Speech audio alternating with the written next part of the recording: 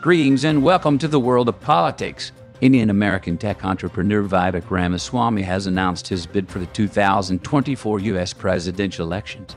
He is the second member of the Indian American community to enter the Republican Party's primary race following Nikki Haley's recent announcement. During a live interview with Tucker Carlson, a conservative political commentator, Mr. Ramaswamy spoke about the need to put meritocracy back into America and independence on China. He believes that wokeism is a national threat and that affirmative action should be eliminated in all spheres of America. As second generation Indian American, Mr. Ramaswamy is a successful entrepreneur who founded Roivant Sciences in 2014.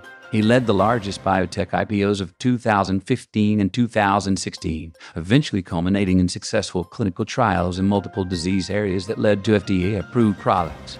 He has also founded other successful healthcare and technology companies, and in 2022, he launched Strive Asset Management, a new firm focused on restoring the voices of everyday citizens in the American economy. Mr. Ramaswamy believes that America is in the middle of a national identity crisis where we have celebrated our differences for so long that we have forgotten all the ways we are really just the same as Americans bound by a common set of ideals that set this nation into motion 250 years ago. He wants to revive those ideals in the country.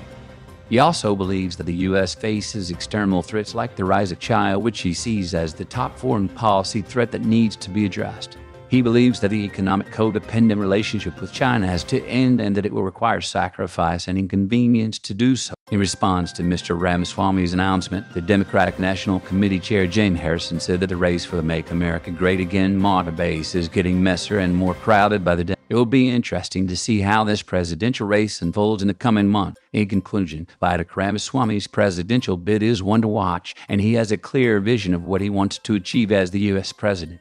He believes in putting America first, but he also understands that in order to do so, we have to first rediscover what America is. From meritocracy to free speech to self governance over aristocracy, these basic rules of the road will set this nation into motion once again. Thank you for watching.